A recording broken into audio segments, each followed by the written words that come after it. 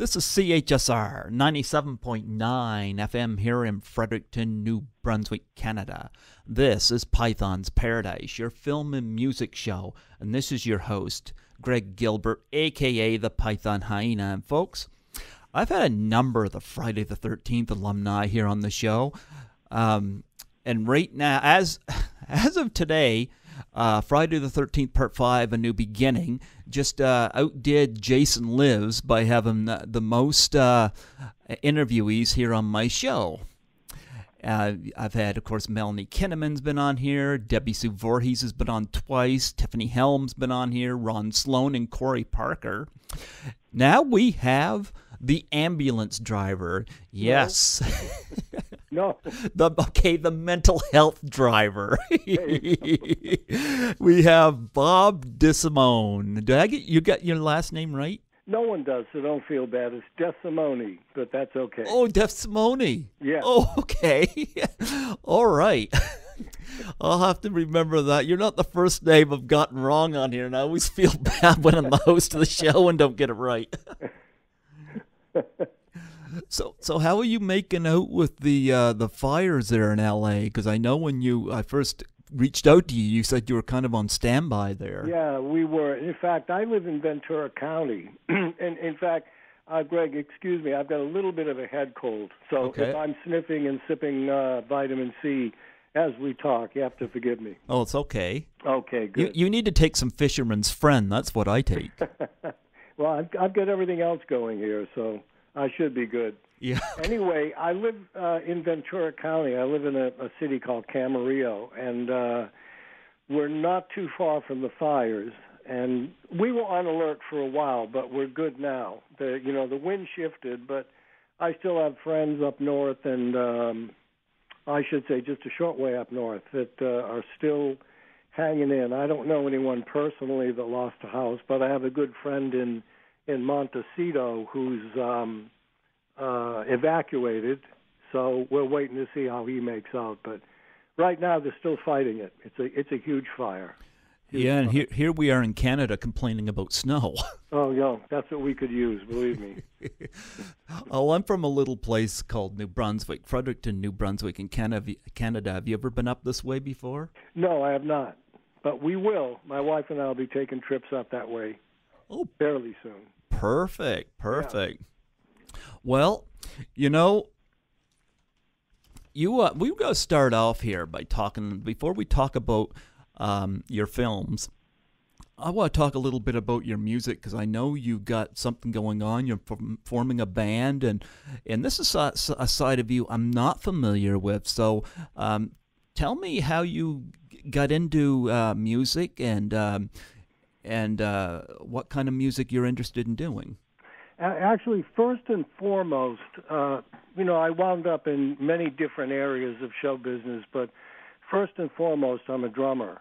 And uh, I came to California in 66 uh, to play for, I'm not sure if you're familiar with Taj Mahal. He's a black blues singer. Yes, I am. Yep. Yeah, I came to California in '66 to play for him, and um wound up um, at a club called the Ash Grove, which was just about the number one club out here. Very funky place for up and coming blues artists and uh, folk singers and whatnot. And from there, wound up in the house band. So I was there for a few years, and I wound up getting steeped in R&B and blues. Uh, Before that, I was a rock drummer, but I always had a, a thing for the blues and rhythm and blues, and I worked with so many, so so many uh, black artists.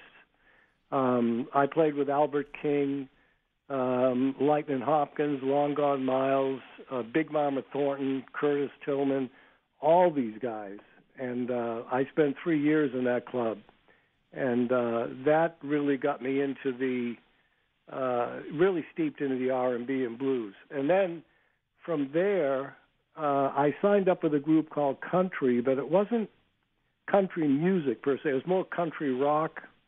Um, a lot of the reviewers felt that we were a, a cross between Crosby, Stills, Nash, and the band. It was a, a very funky country rock band. We had a couple of albums on Atlantic, and um, we had problems with management and whatnot.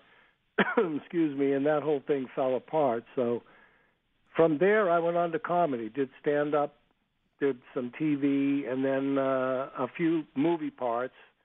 And I think you know my brother Tom is a director. I do. I'm going to Yeah. bring him up later. Yep. yeah, and and I did a, a couple of little things for him, and uh, then I quit the business. I opened my own business in '83. I quit show business. Uh, from stand-up comedy, I did TV, and then after that, I thought I got to get real serious and get something that's steady, and started my own business, and it went well. And and and that was that. I, I really never looked back, except that Danny Steinmann, uh, who directed Friday Part Five, he directed. Um, God, what was the name of that film? Linda Blair. Yeah. She, um, Linda was in that. Yeah, Savage um, Streets. I, I played Mr. Meeker. Yes. Why can't I remember the name of that film? Sa- Anyway, Sa- Savage Streets. Savage Streets. Yeah. Thank you. Yeah. And uh, he liked what I did and said, whenever I do another film, I'd like you to, you know, I'd like you to work with me because I enjoy working with you. And I said, that's fine. Well, a couple of years went by and I quit. And my brother called me and said that he saw in Variety that Danny was uh, shooting Friday Five. So, kind of, you know, half-heartedly, uh, I called Danny because I, I really wasn't into performing anymore. And um, you know, he said he was looking for me, calling my old agent. They said no, he left the business, this and that. So he said to me, I have two parts left. They're small, but you can play both, but you have to figure a way to make these two characters one character. So obviously the the driver that took the kid to the uh, the place in the beginning of the film, I played that, and then of course I played the guy who drove up to the uh, the store to pick up Lana and uh, was blowing cocaine in the car. So he said to me, "How can you make these two people the same?" And I said, "I'll write the scene myself if you want." And he said, "Okay." So I wrote because it just called for Billy to drive up, yell for Lana, blow the cocaine, and get killed. But I had to make Billy the same guy as the guy that dropped uh, the kid off at uh, the sanitarium. So that's where I got the line, uh, the pride of the Unger Institute of Mental Health, who has just emptied his last bedpan and would like very much to party. that made us the same guy. Plus the fact that we looked alike, that was easy. And I wrote her part and my part. And then in the car, Danny said, when you go to uh, blow the cocaine, he knew that I did a lot of stand up. He said, just improvise. So they took the that car, they took the right door off and set up the camera. I jumped in the car and they just rolled the tape, uh, roll, I should say the film. And uh, I had a good time. I had a great time fooling around in the car, and it, it uh, amazingly to me, this is, I get constant letters or emails, or it's amazing. It just really is amazing how these films have lasted over the years. Say the line. Come on, say the line. Which one? Oh, okay, okay. and the forecast is cloudy in the mountains, sunny in the valleys, and snow flurries up your nose. I had no idea they were go- supposed to be different characters. yeah, well, well, they you sure the guy just dropped her off, and there were no lines there either. The only lines were Tommy, you know, come out of the, and that was it. But when Melanie walked out, I was in character, and she's a beautiful girl. Yep. So while I was in character, if you remember, I was reading a, a Playboy magazine. so I was definitely a scumball, the character. So I kept staring at her. I didn't know if I was in frame or out of frame. So um, I kept staring at her and looking her up and down, and she stopped in the middle of the scene. And Danny said, "What, what happened?" And she said, "He's making me nervous." and Danny snapped his pencil and said, "Use it, just use it." So we shot the scene again, and as she thanked me and walked away, that's when I grabbed my crotch, pulled my ear, and wiggled my tongue, and, and did that. just just to keep the tension going, you know. Going back to your music, you mentioned blues. I've had three of the Blues Brothers on my show. Um, have you ever worked with any of them before? No, I have not. No, that would be great, but I did not. Yeah. Well, I gotta say, um, Friday the Thirteenth Part Five: A New Beginning. I saw that when, of course, I would have been 13 in 1985 when that came out, Mm-hmm. and uh, I saw that at a birthday party for junior high, and I'm like, yeah, we weren't 18. Yeah.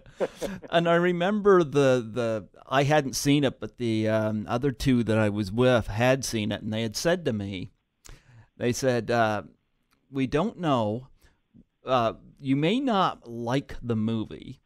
Because uh, of course they're talking about the fact that it's not really Jason.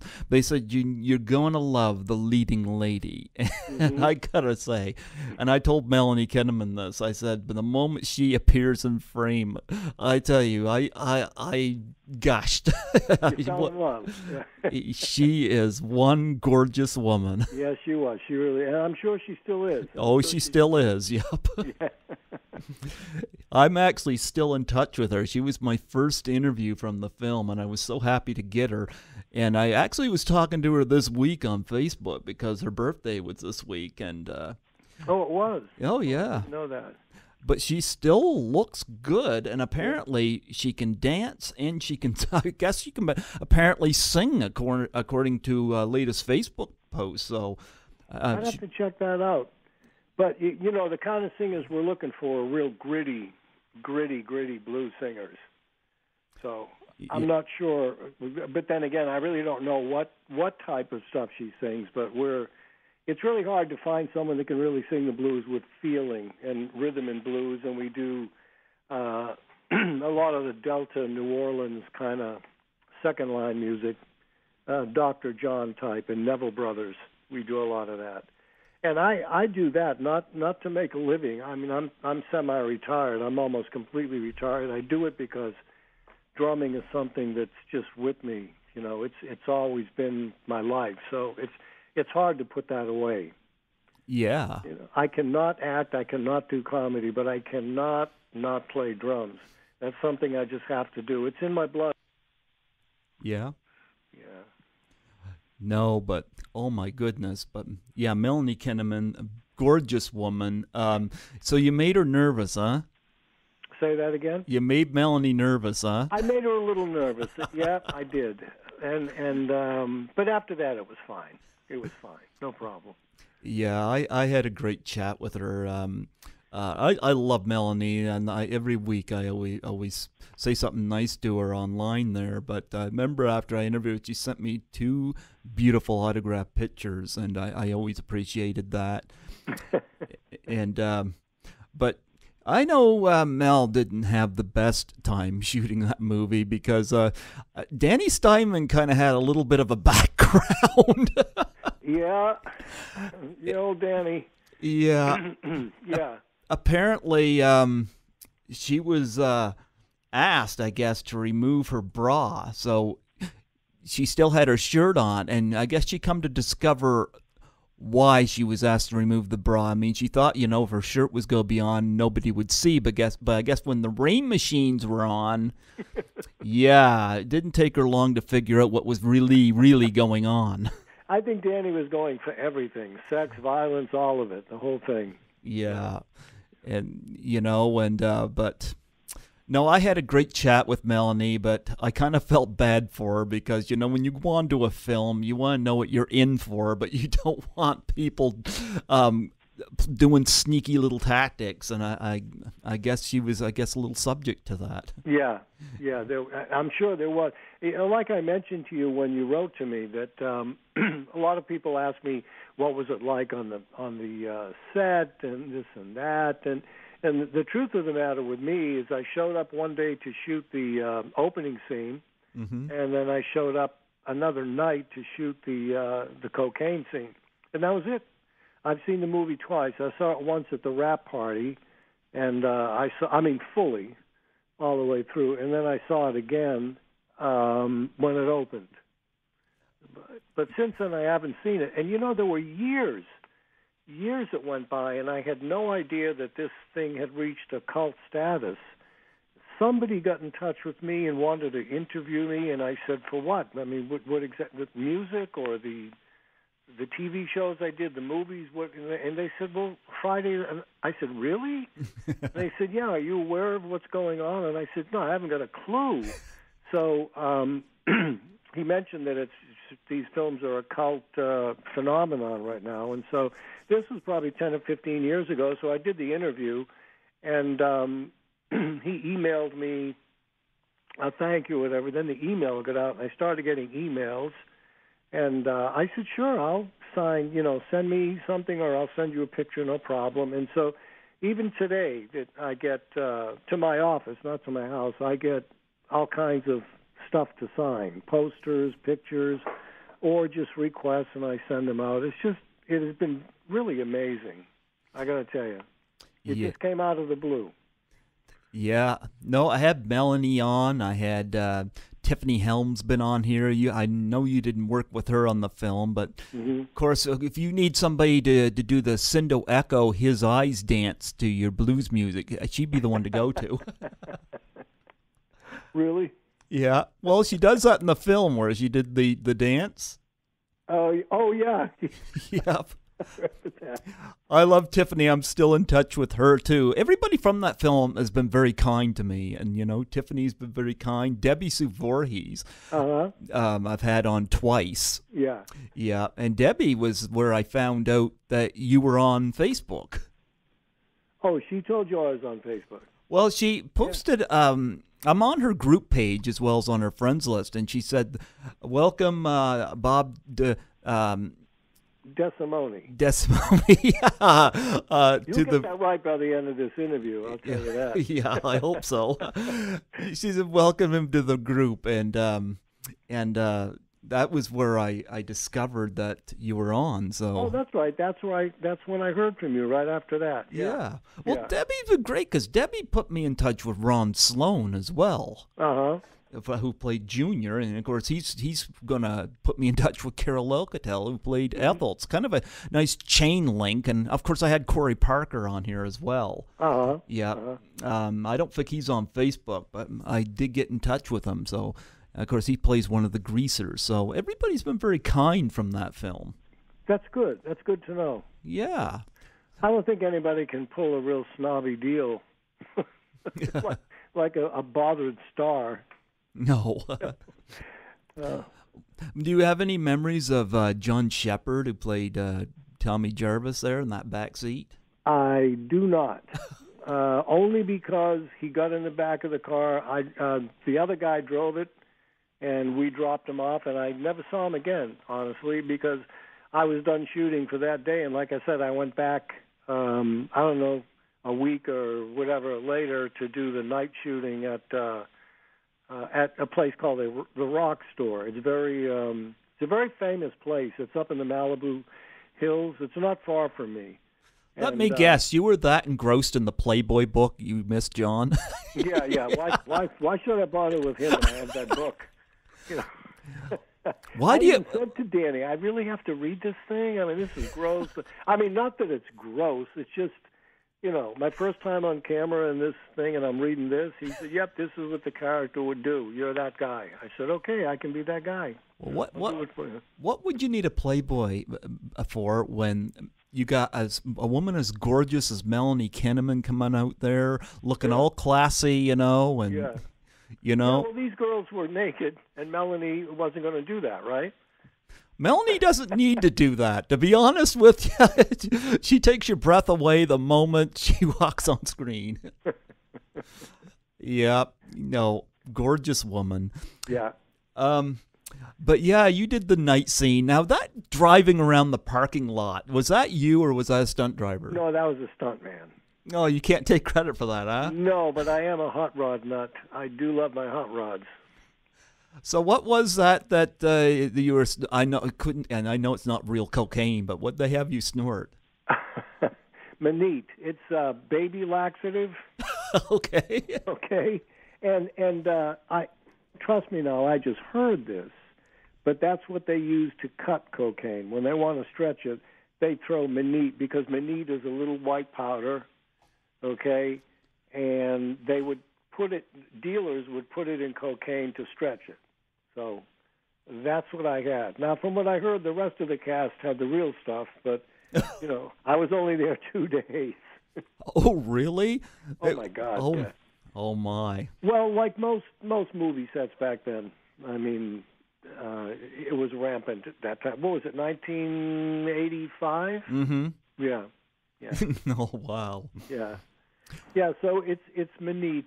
Little. It doesn't affect an adult, thank God. That'd be a quick scene to shoot. Well, your your death scene. Tell me about that. Um, well, I got hit in the head with the ax Mhm. It was a dummy, as you know, but that was the end of it. They didn't. Um, I had no uh, body on the ground scene. That was it. Once uh, once he hit me in the head with the axe, I was out of the picture. It was all over. There was no cut scene or anything like that because I know that movie got hit hard by the censors. No, um, that was it. Exactly what you saw was exactly what they shot. They, I would yell for Lana, and then later they got a dummy, put it in the car, axe the head. Then they had me, you know, they did a shot of my eyes widening and all of that. And that was the end of it. So there was no more. I would have loved to have been on the ground with an axe in my head, but uh, it didn't call for that. Well, let's talk about Rebecca Wood Sharkey because that was, of course, Lana, and Yeah, of course they couldn't get her away without her doing that little um, uh, breast flash there. Did you interview her? Has anyone found her? I have not. Mm. I know Scotty McCoy, I think, interviewed you, and he's been on my show. Mm-hmm. And I don't know whether he's gotten in touch with her or not. Mm. Yeah. I don't know. Is she around? I have no clue. But there is a story there, and I, oh, I'm always reticent to tell it, but I do. Um, th- this was a cold night when we shot that that uh, Lana scene, Mhm. and um, cold for California. So most of us were inside the the restaurant while they were setting up shots, bringing the car in, and all that. And my brother had recently shot a film with Ray Sharkey, Okay. and um, he called me up and he said, "I'm at such and such a place." And Ray, and I always wanted to meet Ray because I really loved his work in uh, The Idolmaker. So I always wanted to, just a chance to, you know, meet him. And Tommy said he's here, but and and this was during the time when Ray was using a lot of heroin, unfortunately. Okay. And he said to me, "I hope he's, you know, coherent. We're having a rough time with him as it is." So I showed up on the set and I was waiting, but I, it, it was useless for me to even approach him because he was just completely out of it, and and things were moving very slowly because of it. So later, when I was at the store, the rock store, shooting that scene in Friday, I was talking to Danny and uh, Rebecca. Is that her name, Rebecca? Yeah, Rebecca. Yeah. Yep. She was sitting at one of the tables, and I was standing right next to her.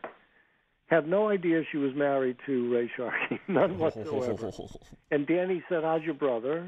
And I said, "He's doing great. You know, he says hello. He said, tell him hello." And so I related the story I just told to you that I went up there and that Ray was so whacked out on junk. It was very sad, and uh, it's a very sad situation. And she looked at Danny and I and said, "Are you talking about Ray Ray Sharkey?" And I said, "Yeah, it's really sad. He's just a mess with the heroin." And she said, "Ray, my husband." oh. Danny and I just literally froze in our tracks, and she said, "It's just a little problem with Valium that he had. That's all it is." And and and we both said, "Oh, of course. It, I'm sure that's what it is." And we were doing everything to get out of this ridiculous situation we got ourselves in, and uh, so th- that was that was tough. It was. It just came out of the blue. I mean, what is the chance of the girl's married to this guy? yeah. I have no clue. All I knew was her name was Rebecca. I didn't know her last name. You know, so Again, lo- lots of nice looking women in this uh, film, Oh, and of course she was it. And of course that that scene where she flashes the mirror there, you know. I have a feeling that, of course, was Danny's idea, wasn't it? You know, I don't know. I really don't know. But um, I wouldn't put it past him. I really wouldn't. Uh, Danny was really a sweetheart, though. He really was. He was a very nice guy. But whether he was doing that for his own pleasure or I would like to think he was doing it to put as much sex and violence in the film uh, as he could, you know? I mean, I think the body count in that film was the highest ever, if I'm correct. At, at that time, it did get surpassed. Yeah, yeah, okay. Yeah. That's amazing. But uh, yeah, I I know that Danny Steinmann had come up. Uh, I, I believe he was making porn. I, you know, that I don't know. Okay, I'm, I'm, I, I'm again, a lot of directors do on their way up. They'll direct most anything. Well. I, I I think you see a lot of that kind of thing Yeah. in uh, a new beginning. I'm surprised it didn't get an X rating with the amount of nudity. I mean, uh, Debbie Sue Voorhees, for example, is full body nudity in it, and of course she's got a very good casual attitude about it. Uh, I, I like how she's she does she doesn't mind talking about it and whatnot. Very very level headed. Yeah. But um, and then there's you know Mel- Melanie Kinnaman uh, would not do nudity. Um, she did do nudity in Thunder Alley, but I don't know why she had to do it because it was kind of pointless. And so, um, so in a new beginning, I think she put her guard up, but I guess couldn't get by the wet T-shirt thing. I guess. yeah. Yeah. Which movie came first with her? I think if I don't know, I could be wrong here, but I'm, I'm thinking Thunder Alley, but. Oh, okay. Okay. but she did a nude scene in the pool and then there's a bedroom scene Mhm. and i was like i don't know why she had to do the nude scene and um, because uh, a lot of times un- unless unless there's a reason for it it just comes off as exploitation and Yeah, uh, yeah so Yeah. I don't know. I, I like Melanie, so I mean, but yeah, that that that was her thoughts on that. But but then some people are are okay with it. Like I heard that Darcy DeMoss went on to do Jason Lives, the 6th one. She was originally supposed to be, uh, be in part five, and I think if memory serves me, I think she had a, an issue with the nudity as well. So Yeah. yeah. Well, I think some people don't mind at all, no matter what what the script calls for, and some people will if it's really really germane to the script. hmm You know, but if it's just wholesale nudity, I can see where some people, mostly women, are the ones who get asked to take off their clothes would say, "No, I'm not going to do that because it's it's really has nothing to do with the movie." You know, nothing to do with the scene, really. But uh I think what you know what really sells in these things is the sex and the violence. hmm The violence in these things first, but then um always a girl running, always in the rain, always bare breasts, someplace. You know. Were you there for uh, Rebecca Sharkey's um uh, death scene? Yeah, well, I was still inside the uh, rock store recovering from the faux pas of the conversation. but I knew she was out there getting an axe to the stomach. I knew that. What was she like on the rest of the shoot? she was very nice. Mm-hmm. She was very nice. Again, like I said, uh, when you say the rest of the shoot, well, that was her only scene, if I'm correct, right? Yep. Okay, yeah. She was very nice. It- it- Just very nice. And so was Melanie. Yeah, I nice. love And no- Melanie. nobody was playing the superstar. Sometimes on these B films, you run into actors and actresses that you know they think that they're already top drawer actors and actresses, and they're very uh, difficult to work with one way or another. But uh, the people that I worked with were very nice. You know, nobody was pulling any any games or anything. And Danny was really easy to work with. He really was, at least with me. I mean, um, he gave me the leeway to write the scene. He gave me the leeway to uh, all those lines in the car with the snow flurries, and he just let me do whatever I wanted. He "Just we're going to roll the camera, do what you want." I said, "Okay." He said, "Just end up blowing the cocaine. That's what you got to do." I said, "Okay." And uh, most directors don't give you that that freedom. Yeah, you worked with Danny Steinman twice, also with Savage Street. Between Yeah. the two films, which one do you prefer? Um, I prefer Friday Five, and I'll tell you why. The first, uh, when I did Savage Streets, I played Mr. Meeker, kind of a, like a goofball, Mhm. kind of, kind of silly, and it was good. They liked it, but then as they they saw the dailies, they said. We want this guy to be a serious teacher. We don't want him to be quite as he was more or less I played him like a stumble bum, you know, that Mhm. kind of a thing. So I went back and I did the scene again a couple of days later, played it completely straight. But when the place broke out in a fight, they used the character, the first character that I did, who was a stumble bum. So it looked all of a sudden it looked like, oh, this guy's overacting, you know. So they mixed the two, which I wasn't real fond of. But I enjoyed I enjoyed Friday Five better. Well, your scene in Savage Street was pretty funny, though. I got to say that. Okay, it, it, it ended up you being the butt of a joke, all right. right, right. And see, because I was the brunt of the joke, I figured make the guy a real kind of a clod. Mhm. You know, I wasn't I wasn't going over the top comedically. I was more of a stumble bum teacher, easygoing, um, the kind of guy you'd want to do that to. What they did to me with the uh, the big penis coming down, and the if that's okay to say. on the show. sure, go ahead. I, wanted to be the kind of guy that, that I'd be the first, I would be the target of the students, you know. Uh, but they said, let's try it the other way, and they used the the normal character. Uh, but as the fight broke out, me trying to break them up, it wasn't much, but the expression on my face was much more uh, of the other character. But actually, I, I bet no one noticed it. I noticed it, but most people don't. Well, But when when you're looking at your own work, you notice everything. well, you got, uh, of course, Linda Blair and Linnea um, uh, Quigley were in that. Do you have any Yeah. memories of those two? Um, I knew Linda, um, not a great friend, but I knew her through my brother because she did a couple of films for him. Mm-hmm. But again, I'll tell you, my uh, my scene was that one scene. So what most people don't realize, you know, they always ask you what was it like on the set, what was this guy like or this girl. I don't know. I rolled in, did the scene, and left.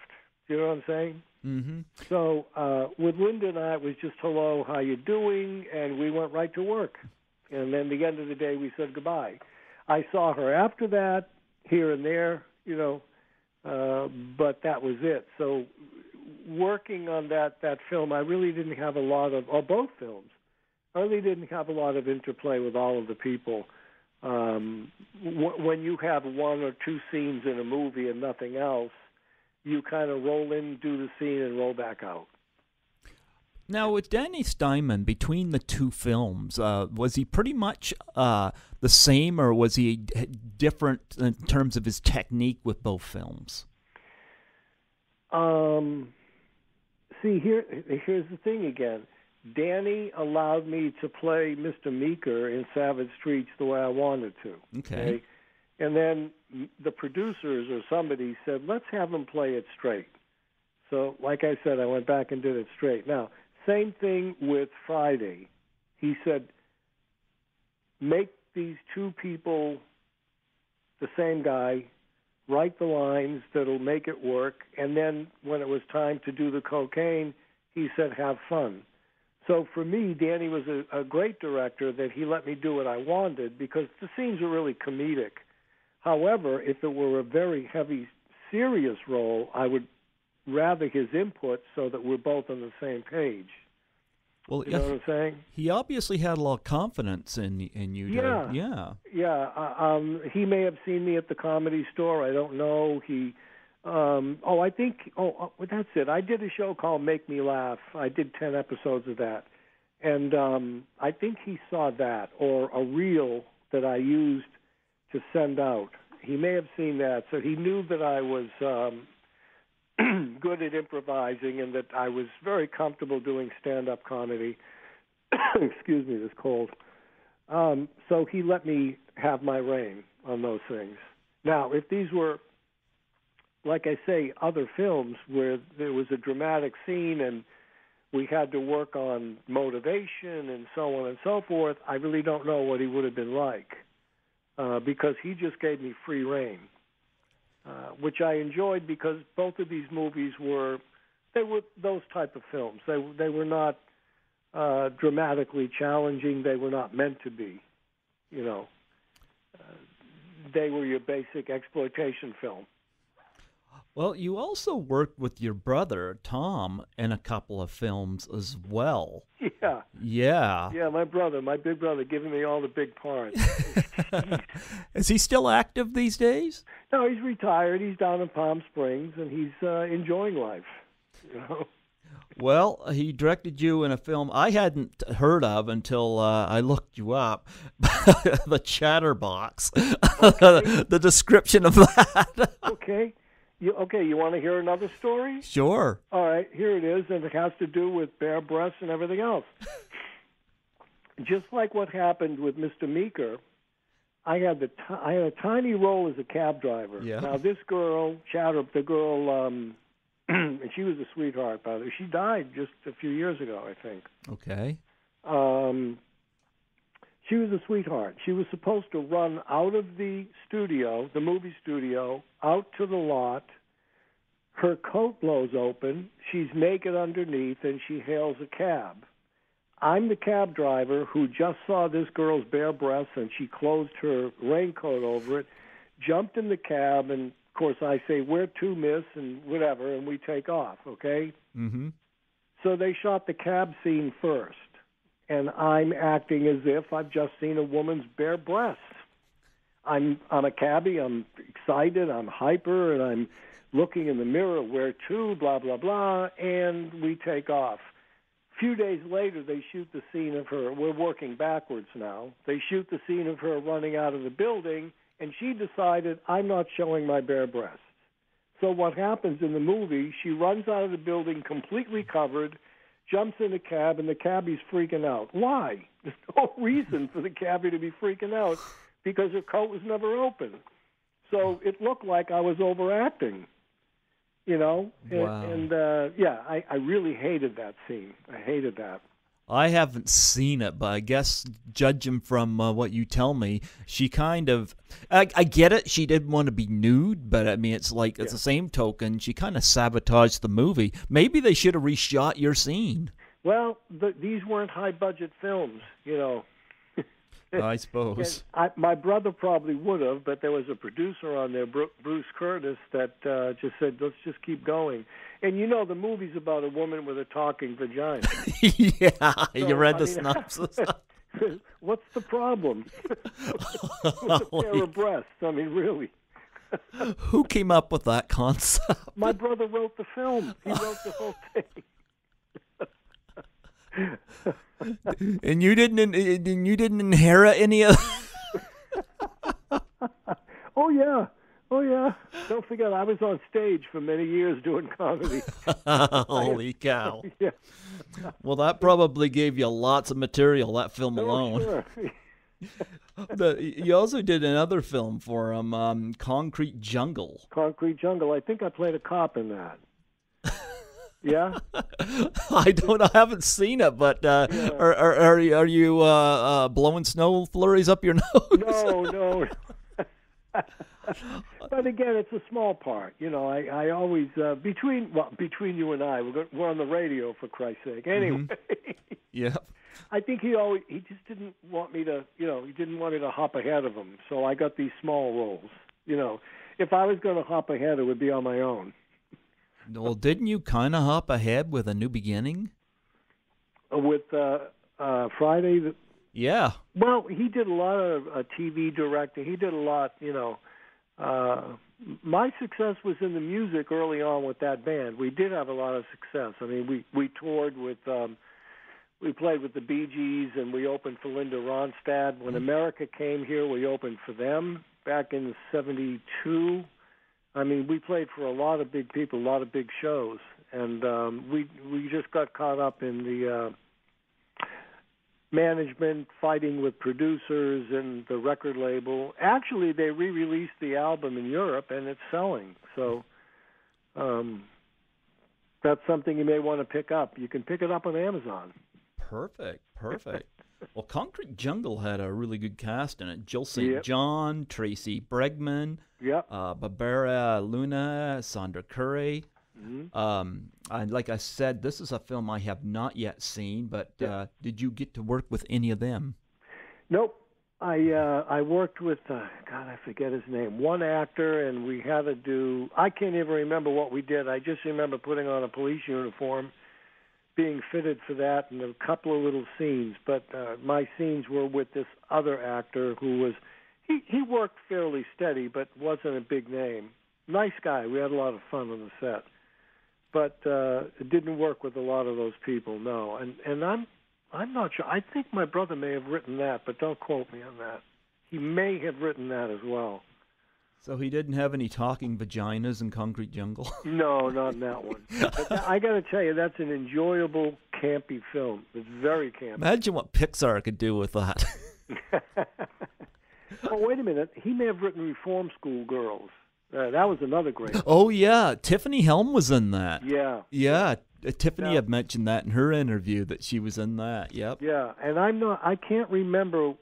I know he wrote Chatterbox, and he may have written either Concrete Jungle or Reform School Girls. And I think Reform School Girls was what he wrote. My daughter, one, of my youngest daughter, when she was in grammar school, the principal called me, Mm-hmm. and I and uh, Gianna, she must have been, you know, she's probably in fifth grade. And he said, "I need to talk to you about you." And I said, "What? What's up?" He said, "Everything." No, no, everything's fine. He said, "But she's wearing a sweatshirt, and it says Reform School Girls." He, because he never, I, I don't think he ever saw the movie. You know, he he said, and it says, "So young, so bad, so what?" He goes, "How do you let your top child dress like that?" Oh. And I said, "Oh my God!" I said, I- "Well, I knew the guy." I said, "Tom," I said, "That happens to be a sweatshirt from a film my brother did, and she must have grabbed it out of my closet because it was hanging up, you know, and I hadn't worn it for years. It had been washed so much it shrunk." And she put it on and went to school, and it didn't mean much to her, but you know they went crazy. And I said, "That's really all it is. It's it's just a, it's a sweatshirt from a film called Reform School Girls." So. She couldn't wear it to school anymore. That was the end of that. Between um, uh, Concrete Jungle and uh, well, I, I guess I guess your time on chat. I was gonna say which one you enjoyed doing more, but I guess Concrete Jungle probably wins that, doesn't it? For me, Yeah. as my favorite film, Yeah. no. Why? Why would you say that? Because No, between between the two, which one between the between that and Chatterbox? But I guess uh, Oh, oh, I'm sorry, Chatterbox. Yeah, between that it would be Concrete Jungle. okay. Yeah, yeah. Another film I got to bring up too is uh, The Seduction with uh, Morgan Fairchild. Yeah, Yeah. I That- play. Now these are really small roles. You got to get a starring role. You got you got to stop getting. You got to tell your brother to get you a bigger role. well, he's retired and I'm semi-retired, so my big role now is moving to Cape Cod and just sitting on the beach. That's what I'm looking forward to. yeah, the seduction. I, I did that. Uh, I played a photographer. Again, another small part. Morgan Fairchild, I have to tell you, was somebody at that time who was a big star, was a sweetheart. She really was. mm-hmm. Very kind, very uh, uh, helpful. You know, a real pro. She was sweet. She was very sweet. Yeah. Um, yeah. She had to. She had to be. Of course, this is a movie about a woman that is an, um, enamored by or uh, stalked by an obsessive fan slash photographer. and- Photographer, yeah. Yep. But I gotta say, I, I loved it when she turns the tables and just belittles him. yeah. But um, yeah, Morgan Fairchild at that time was a big thing. Of course, this movie was up for quite a few Razzies as well. But Yeah, of course. yep. Most of those are. Oh yeah. Yeah. But um, uh, yeah, that was one of those cult films that he was involved in as well. Now, uh, we gotta go back and talk about your music because uh, you said something to a, me- a, message I thought was funny. You said getting people together for a band is like herding snakes. I was like, oh. well, you know, oh yeah, we're back on anacondas and everything. well, you know what? It, it's it's um, if they weren't musicians, they'd be easy to work with. I, I one of my my brother always said to me uh, being brought up middle class is a curse because he said to me, "You're never hungry enough," you know. Mm-hmm. And we, my dad did well. He was in the restaurant. He did a lot of things, but he was in the restaurant business, and we we were never really hurting. We weren't rich, but we lived comfortably, and um, so. Um, geez, I lost my train of thought. I was just looking for another vitamin C. Oh no, you mentioned that your father was in the restaurant business and middle class, and you guys were not hurting. Yeah, but what was your question again? I got I got sidetracked. you got sidetracked. Um, I I was talking about your music and I and your oh herding snakes. Yeah. Yes. Okay. Okay. Okay. I was yep. fishing a vitamin C out of the bar. Okay. Um, you know they have um, me being raised middle class, I, and and I guess I was brought up uh, I was brought up in your typical Italian family, both sides, mother and father Italian, you know, all the way. So we we just even though I was a musician, I knew how to show up on time. I knew how to be prepared. I was well aware of when I went for an audition when I was playing drums to be prepared, to do your best, you know, and be on time. Mm-hmm. And some of these people, you know, it seems the better they are, the worse they are with handling their lives. They come with nothing but problems. The last band I put together was absolutely killer. We had a fine guitarist, we had a great bass player, wonderful keyboard player, still with me, and an amazing female singer. Just what I told you earlier, what we're always looking for someone who can sing the blues that really feels them or had something going on in their life that they can relate to when they're singing.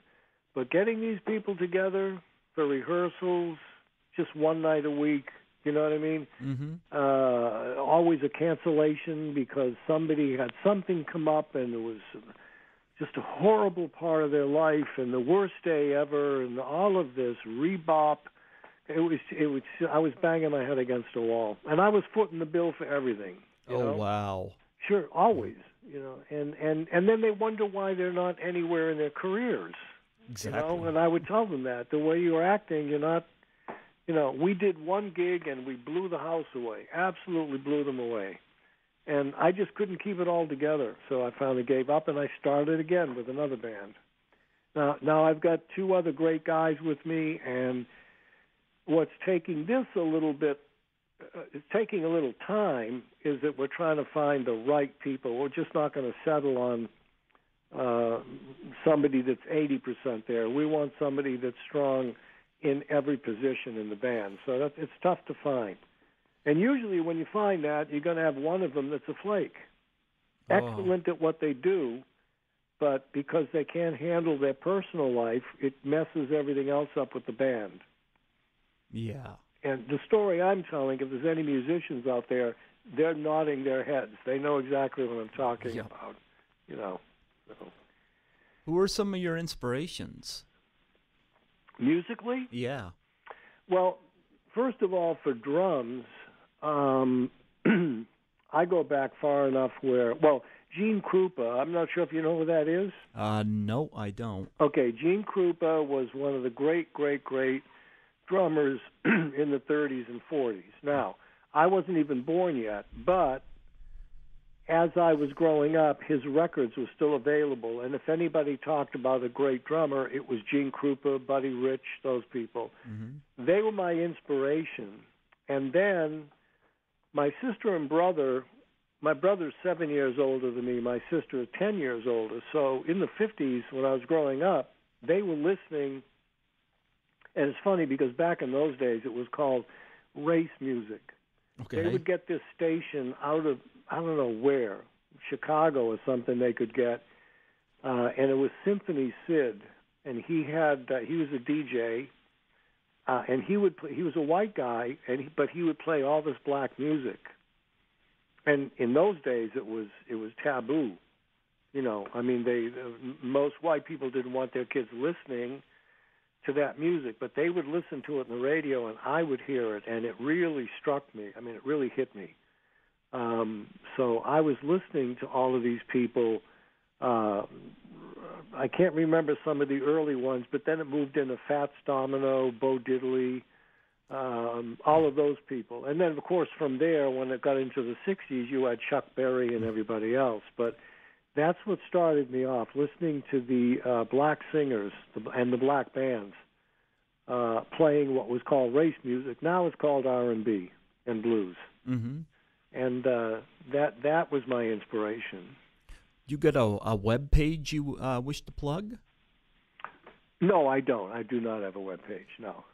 Do you? Uh, okay. Do you have you have any CDs or anything like that out? Uh, well, I would plug if you go on to Amazon. Okay.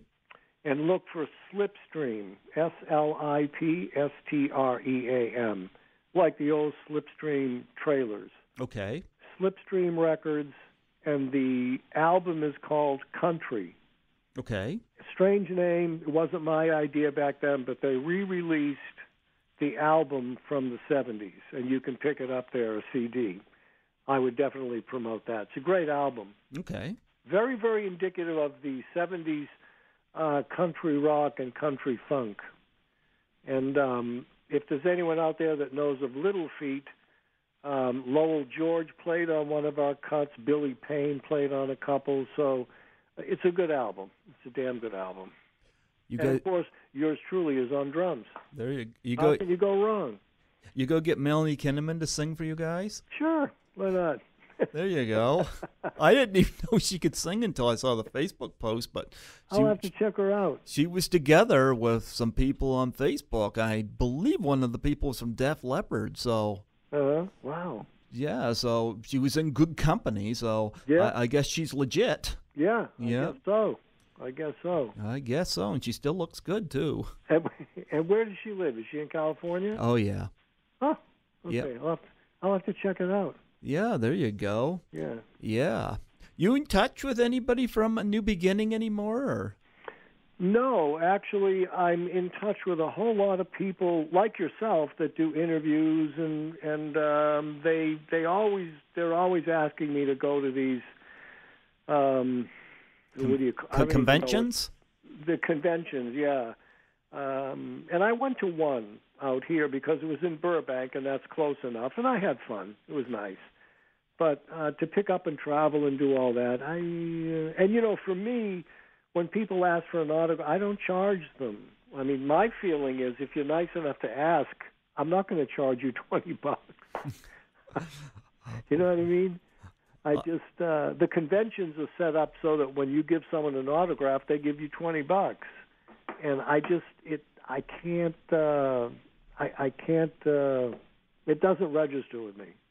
Oh, well, that's kind of you, because I would, I'd love to get an autograph. I'll send you an autograph. well, uh, I don't mind sending you a self-addressed stamped envelope. I don't mind doing that. Well, no, that's no problem. Just uh, private message me your address, and I'll send one out to you. Well, I appreciate that. I definitely Okay. appreciate that. And I take PayPal.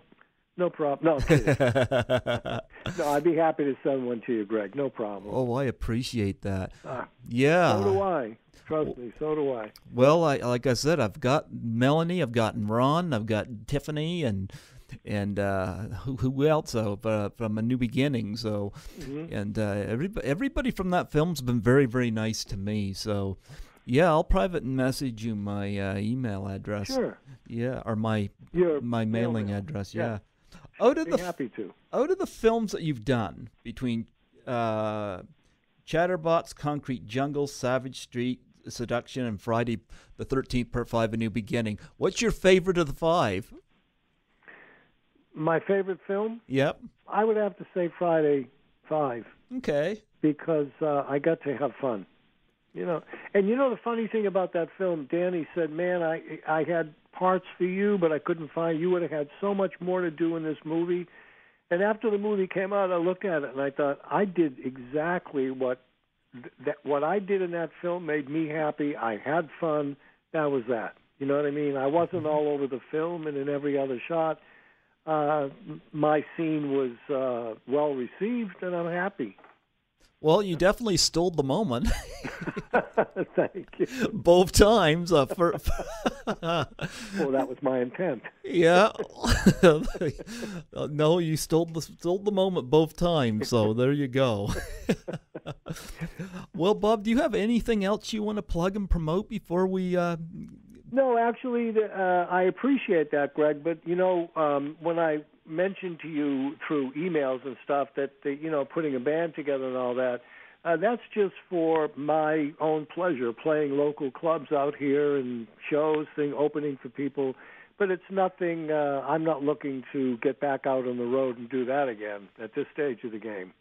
Um, it's just for my own pleasure. I will certainly stay in touch with you and let you know. You know, usually when we play live, we record the tunes, and maybe if we have a good one, I'll send it off to you. Oh, sure. Yeah. Yeah, I I'd play it on here.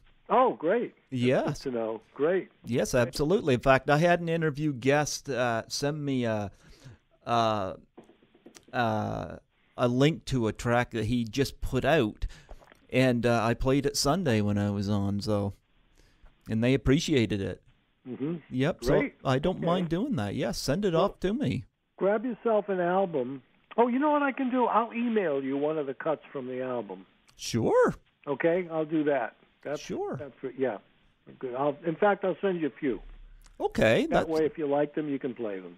absolutely yes. I'll, I'll do that. More than happy to. Oh, I appreciate that. Yeah. And I'll uh, get you my my mailing address. You got it. Yeah. Before right. before I let you go, would you mind doing a plug for my show? Oh, not at all. Yeah. Hold on one second. Let me hold on. I'm gonna put the phone out for a second. Sure. Hey, this is Bob DeSimone from Friday the 13th, Part 5, and you're listening to Python's Paradise with Greg Gilbert out of New Brunswick, Canada. Thank you so much, Bob. I appreciate having you on. And yes, stay in touch with me. No problem. Yeah, absolutely. And I'm willing to promote anything that you got uh, coming out. So, Okay. yeah, All right, I'll send you those. Uh, I'll get a couple of clips and send them to you. absolutely. And I'll get my address out to you as well. All right, man. I appreciate that. Thank you so much. Hey, this was a pleasure. I appreciate it. No problem. Thank you. Take care, and I'll be in touch on Facebook. Absolutely. Okay. Yep. Yep. Bye. Bye bye.